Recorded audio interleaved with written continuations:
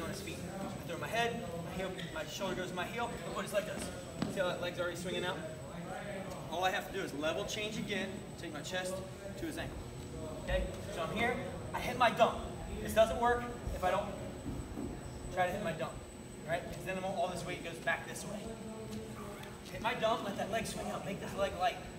Let my chest slide to his ankle. Here. What you guys are gonna wanna do is you're gonna back out. Back out. Just level change my chest to it. Now up and into it. Up and into it. Couple details. Once we get his leg up high, don't square up to him. Look how long this leg is. Right? Look how long that is. If I go like this, I have to fight his whole leg. Right? Stay perpendicular to him. Look how much closer that leg is now. See that? It's this right here. I know where it's at. Don't square up. It's gonna be hard to get pressure into him and trip him. So as I go to dump, let this leg swing out. I dump, that leg swings out, boom, chest to it. Get it high. Stay perpendicular. My right hip, not away from him, into him. Right here.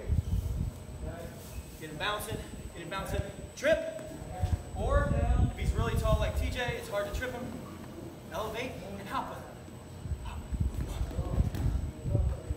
Got it? So here, don't back out. Level change into him. Right? Either get him to hop, time it.